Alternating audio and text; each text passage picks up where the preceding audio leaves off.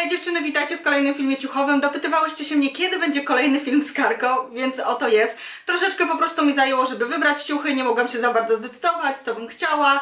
E, to mi się podobało, tamto mi się podobało, musiałam poczekać na, na doszycie, bo jak wiecie, no to jest mała polska firma, która szyje na bieżąco takie rzeczy, więc to nie jest tak, że po prostu podejmuję decyzję, nawet dzisiaj pstryknąć nie mogę. Podejmuję decyzję i wiecie, w mgnieniu oka wszystko jest. To trzeba było troszeczkę poczekać, więc Chwilkę poczekałam, ale oto już jestem i mam dla Was dzisiaj głównie spódnice i sukienki, znaczy głównie spódnice i sukienki, czyli nie mam żadnych spodni, głównie właśnie skupiamy się na takich bardzo kobiecych i takich, no nie, nie powiedziałam, że frywolnych, ale takich fruwających, fruwających ciuchach. I pierwszą sukienkę, którą mam obecnie na sobie, możecie kojarzyć fasonem, ponieważ w pierwszym moim zamówieniu z Karko była prawie identyczna właśnie granatowa sukienka. Ten model nazywa się Magma.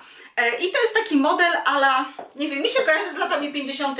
Mi się wydaje, że to przez te kropki, bo jednak w tamtych latach jakby założyć na przykład tiulową spódnicę pod spód, jakby pod to, żeby to jeszcze tak, wiecie, tutaj wisiało, to to jakby nic byłby po prostu strój na lata 50. i jest w ogóle taka w kolorze czerwonym, więc idealnie ala pin-up, jeżeli macie jakiś taki, wiecie, imprezę z tematem przewodnim, to myślę, że byłoby idealnie. Tą sukienkę mam w rozmiarze 50, ale przymierzałam też ją w rozmiarze 52, no i 52 ogólnie leżał dobrze, ale jednak miałam pewne luzy. E, zarówno jedną i drugą sukienkę mogłam włożyć bez rozpinania. Tutaj z tyłu możecie zobaczyć, że jest tak zwany invisible zipper. Z tyłu mi dynda silikonowa taka tasiemka, którą były szczepione po prostu rękawki, żeby to ładniej wisiało na wieszaku. I tak coś czułam, że mi strzeliło, więc widzę, że ona chyba gdzieś tam dynda, ale nie chciałam jej w tej chwili zrywać, żeby po prostu nie, wiecie, nie uszkodzić sukienki, potem sobie ona spokojnie, ładnie, równo odetnę. Jak widzicie, dekolt jest też taki typowo pinapowy, typowo lata 50. Mamy ładnie wyeksponowane tutaj wszystko, mamy... Pokazujemy dużo skóry, ale jednocześnie nie jest to wulgarne. Nawet jak się nachylę, to zobaczcie, że po prostu nic mi nie wypada, nic tutaj, wiecie, się nie rozłazi, a nic takiego. Spódnica jest z cyklu moich ulubionych, czyli takich, że jak się zakręcę, no to po prostu ona wiruje. To jest, to jest, uwielbiam takie spódnice, bo one powodują, że czujemy się dziewczęco i chociaż y, mamy większe rozmiary i nosimy rozmiary 50, 52, 54, to nadal możemy wyglądać właśnie lekko, tak? Bo ta spódnica powoduje, że wyglądamy lekko. Sukienka kosztuje 170 zł i głównie mamy tutaj poliester oraz bawełnę, natomiast albo jeden materiał, albo drugi ma w sobie troszeczkę elastycznych włókien, dlatego że generalnie sukienka się troszkę naddaje. Jeśli chodzi o ten rozmiar, to jest dla mnie idealny. 52 była na mnie ciutkę, ciutkę za duża, taka, że wiecie, jak ogólnie wprost jak leżała to było ok, ale jak tak złapałam tutaj, to tak mogłam mniej więcej dotąd rękę odciągnąć i to powodowało, że to tak niezbyt dobrze wyglądało. Tu się zaczynała też nieładnie rozchodzić, więc rozmiar 50 jest taka po prostu i trzyma. Nie jest mi w niej za ciasno, właśnie z uwagi na to, że ma tutaj ten, te, te elastyczne włókna, więc ona po prostu się poddaje pod ruchami i wiecie, i można bez problemu się po prostu w niej ruszać, ale też nie jest za luźna, więc ona jest taka idealna. Podejrzewam, że z czasem, kiedy się te włókna troszeczkę rozciągną, no to będzie trochę więcej luzu. Z tyłu Wam pokazywałam, że właśnie jest ten niewidzialny suwak. Tutaj z tyłu możecie zobaczyć też, jak ona leży jakby na tym moim turbodubsku, także jakby mam... Yy, skocznie dla małysza, ale to nie wygląda znowu tak nie jak sorry, jeśli stukam obcasami, ale założyłam obcasy dlatego, że wtedy zawsze i, i wiecie, postawa jest inna niż tak jak stoimy na, e, na boso, to tak zawsze człowiek stoi jakoś tak, no, a jak stoimy na obcasach, to jednak mamy trochę inną postawę. W ogóle powiem Wam, że rozważałam, czy wziąć właśnie granatową, czy wziąć czerwoną. Idealna to byłaby zielona tak naprawdę, bo te zielone sukienki są po prostu przecudne. Ta, ten kolor zieleni, który jest w karku jest po prostu przeprzeboski. Zarówno ten zielony, który był w tej sukience sylwestrowej, jak i taka butelkowa zieleń, którą widziałam na stronach w przypadku innych ciuchów, które też mam, ale właśnie mam w innych kolorach, więc zielona myślę, że byłaby po prostu perfekcyjna. Natomiast granatowa też wygląda dobrze, też wygląda fajnie. Granatowe to jest trochę taki wymienny z czarnym kolorem, więc tak naprawdę w zależności od tego, jak się ją wystylizuje do białych trampek, konwersów, nie, bo to trampki, konwersy, whatever, e, wiecie, na taką sportową luźną, a ewentualnie właśnie do jakichś takich butów na obcasach, na jakieś inne wyjście. Kolejna sukienka krojem bardzo przypomina poprzednią sukienkę. Jest to model, który nazywa się Latifa. Występuje w kilku takich różnych em, e, wzorach animalistycznych, typu wiecie, jakiś tam lamparcik, lew i takie tam inne. Kosztuje 160 zł, ale skład ma bardzo podobny, czyli poliester i bawełnę. Natomiast to jest zupełnie inny materiał w dotyku. To jest taka cienka sukienka. Tamta była taka grubsza, taka cięższa w pewnym sensie, taka bardziej mięsista. Ta jest taką typową cienką sukienką właśnie na wiosnę, która ma, e, która po prostu jest bardzo leciutka. Nie czujemy jej w ogóle na sobie. E, jeśli chodzi o ten właśnie krój, o którym wspomniałam, to to jest taki idealny krój, żeby podkreślić zarówno biust, schować troszkę brzuszka, bo zobaczcie, że ja nie mam żadnej bielizny obciskającej. Ja Wam to zawsze podkreślam, że ja w filmach właśnie nie zakładam bielizny obciskającej, po to, żebyście zobaczyły, co widać w takiej sukience. Bo nie każdy lubi się, wiecie, wciskać tutaj w jakieś takie spandeksowe różne rzeczy i nie każda z nas chce nosić takie, takie rzeczy. I czasami szukamy po prostu ciucha, w którym, pod który nie trzeba będzie zakładać sukien, y, tej bielizny obciskającej, więc ja bielizny modelującej nie mam, mam po prostu na sobie normalny stanik, normalne majtki, normalne rajstopy, nic mi tutaj nie obciska, więc możecie zobaczyć, że w sumie aż tak bardzo tych moich wałeczków siedmiu nie widać. Sukienka jest właśnie też taka zwiewna, też jest z cyklu tych kręcących się, teraz dostanę zawrotów w głowę, więc też możecie zobaczyć, że naprawdę pięknie to wygląda. Jest właśnie taka cieniutka, podkreśla nam tutaj biust, bo chyba już trzy razy zaczęłam o tym mówić, Podkreśla nam tutaj biust przez ten kopertowy dekolt, ale znowu, jak się nachylę, nic nie wypada. Nie ma tego problemu, żeby nam tutaj, wiecie, coś za dużo było widać. Nie, bo to jest odpowiednio tutaj zabudowane, odpowiednio tutaj założone, a jednocześnie mamy właśnie ładnie wyeksponowany dekolt. Jeśli chodzi o tył, Sukienka jest z tyłu bardzo prosta, dobrze leży, nic się tutaj nie odznacza. Znowu tutaj na tym moim turbodubsku też jakby się specjalnie tu wypinam teraz, żeby nie było. Też jakby tutaj wszystko ładnie, dobrze leży. Tak więc jak gdybym miała wybierać pomiędzy tą a tamtą sukienką, to miałabym dylemat, ale chyba wybrałabym tą. Jakoś wzory właśnie te takie panterki, takie, takie animalistyczne wzory, naprawdę ja bardzo lubię i bardzo do mnie trafiają. I tu taki wiecie jeszcze lamparci, lwi, wzór, nie wiem, coś w stylu poczuł w sobie siłę lwa. Naprawdę mega, mega mi się podoba i jakoś tak powiem Wam, że po prostu lepiej się w niej czuję. Ach, sorry, bo mi się włosy przyklejają do mojego błyszczyka. Lepiej się w niej jakoś czuję, jest po prostu lżejsza też, ponieważ jest to cieńszy jakby materiał, więc jakoś tak mi po prostu jest w niej wygodniej niż w tamtej, ale wszystko zależy od okazji, bo wiadomo, że nie zawsze będzie to, wiecie, odpowiadało i pasowało. Natomiast to jak najbardziej na przykład latem spoko, na wieczór na przykład da jakichś złotych klapek, złotych japonek nawet, wiecie, tak na luzaku, duża ilość jakiejś takiej biżuterii właśnie fajnej i w ogóle jest strój naprawdę, no mi się ona bardzo podoba. No i przechodzimy do spódnic oraz bluzek. Bluzka, którą mam na sobie występuje w kilku kolorach i tylko powiem, że tak, wiem, że widać przez nią czarny stanik. I wspomnę o tym jeszcze raz, ponieważ czasami pojawiały się różne takie komentarze, że oczywiście, że ja nie wyszłabym na ulicę w białej, eleganckiej bluzce, przez którą widać czarny stanik. Mogą być różne stylówki i nie wykluczam, że można kiedyś tam zrobić to, natomiast to jest bluzka ewidentnie elegancka.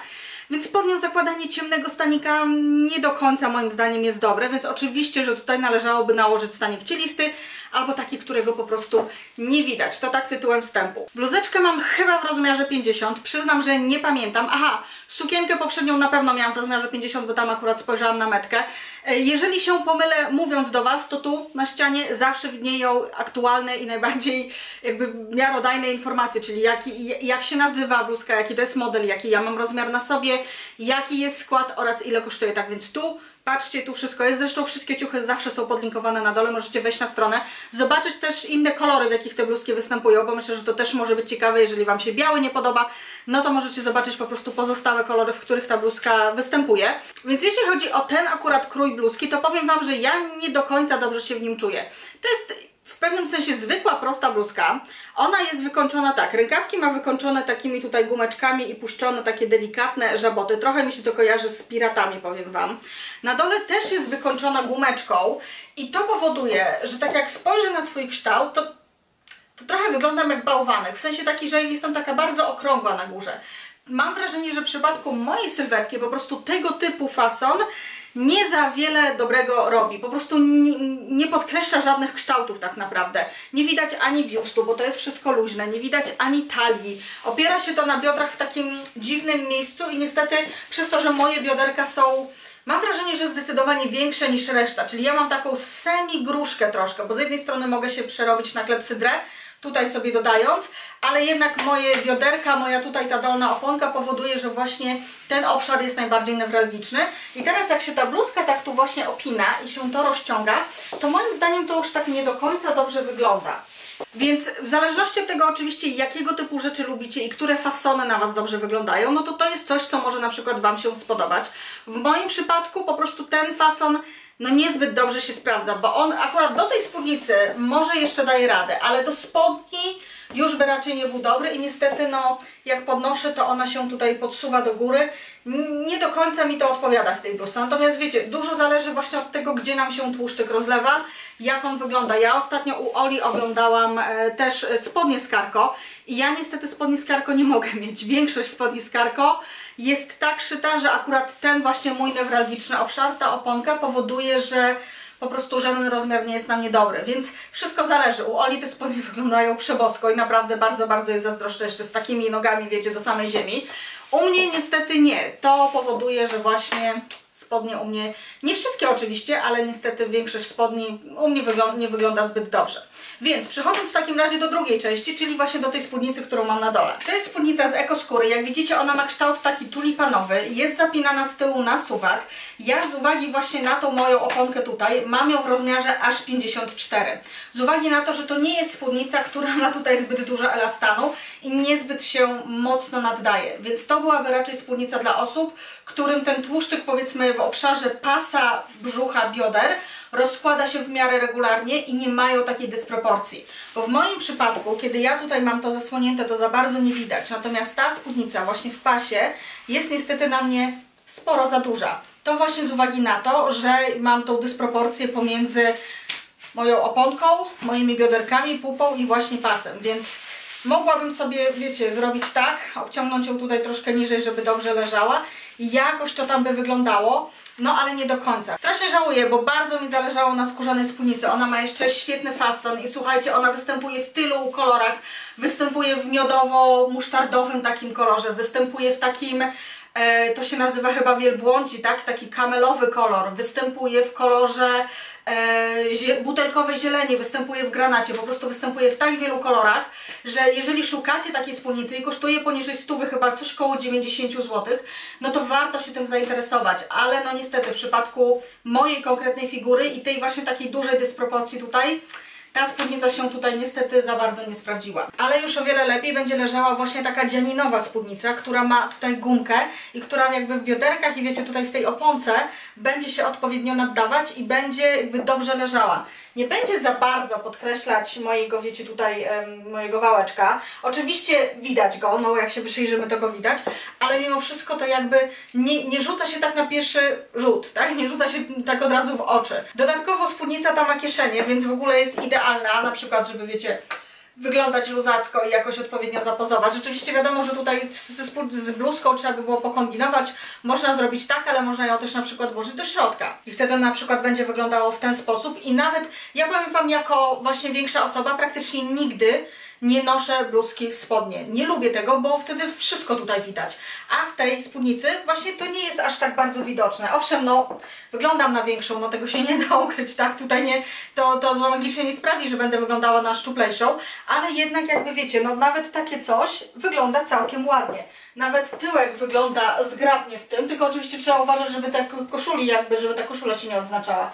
Więc nawet tyłek wygląda w tym zgrabnie i po prostu no wtedy jakby to wtedy jakoś tak, wiecie, odpowiednio dobrze wygląda. I ta dzianinowa spódnica też nie jest droga, bo słuchajcie, kosztuje 76 zł, tak więc jeżeli szukałyście jakiejś na przykład ładniejszej, fajnej spódnicy, no to to też może być jakieś rozwiązanie i też znowu występuje w kilku różnych kolorach, tak więc wejdźcie sobie na stronę, po prostu zobaczcie, może będą jakieś kolory, które będą Wam odpowiadać. I też przez to, że ona jest dzianinowa i przez to, że ma te kieszenie tutaj, też można ją trochę tak na sportowo, wiecie, wystylizować. No nie musi być od razu elegancja Francja. Ja akurat mam ją sparowaną właśnie z tą bluzką we flaminki i ona ma dokładnie taki sam fason, jak ta bluzka w kropki. To chyba było też w pierwszym holu? Chyba tak. Taka granatowa bluzka w kropki, którą zresztą już tak niejednokrotnie zakładałam i gdzieś tam Wam na Instagramie pokazywałam. Czyli też mamy tutaj właśnie troczki na rękawach, których ja za bardzo nie ściaśniam, bo to nie ma sensu. Mamy troczki tutaj, No i ona jest taka właśnie dłuższa, prosta. Do tej, do tej spódnicy pokazałam Wam ją właśnie włożoną do środka i na wierzchu, natomiast normalnie ja takie blu- bluzki noszę raczej tak wiecie, wypuszczone luźno. Tą bluzkę mam w rozmiarze 50 i ona kosztuje 120 zł. Tamta chyba też tyle kosztowała, bo to jest po prostu jakby ten sam materiał, tylko tyle, że właśnie no inny jakby wzór, może tak, w sensie wiecie o co chodzi, tak, że to jest jakby dokładnie to samo, tylko po prostu w innych kolorach. No ale już jak możecie zobaczyć, nadal mam cały czas ten sam ciemny stanik pod spodem i tu już się tak bardzo nie odznacza. Mam wrażenie, że chyba troszkę, tak jak patrzę, ale no nie tak jak wiadomo pod zwykłą białą bluzką, która była troszeczkę cieńsza, więc to też myślę, że jakby istotna kwestia dla osób, które lubią nosić czarne staniki albo nie mają żadnego innego stanika, jak tylko czarne. I to wszystko jeśli chodzi o to zamówienie, tak więc nie było tego jakoś super dużo. Nie wszystko niestety się udało. Ta poprzednia spódnica i poprzednia bluzka, szczerze mówiąc, średnio i one raczej idą do oddania.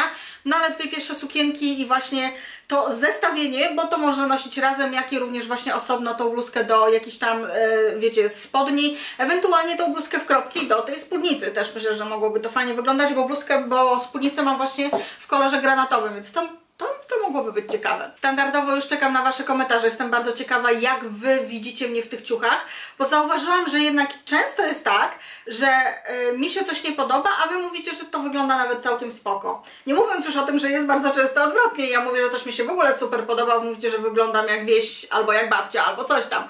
Więc jestem bardzo ciekawa, jak będzie tym razem, jak Wam się podobają właśnie te kroje, te kolory, bo no nie było nudno, tak? Ta sukienka właśnie w te takie panterkowe wzory to jest dla mnie mój hit tego zamówienia, szczerze mówiąc, uwielbiam ją po prostu od pierwszego, to jest miłość od pierwszego wejrzenia, ale jestem właśnie bardzo ciekawa, jakie jest, jakie jest Wasze zdanie. Już tak dużo mówię, powiem Wam, że zaczyna mi się język plątać, więc myślę, że czas skończyć. Czekam jeszcze raz, powiem to na Wasze komentarze. Dziękuję serdecznie, trzymajcie się i widzimy się w kolejnych filmach. Do zobaczenia, pa pa!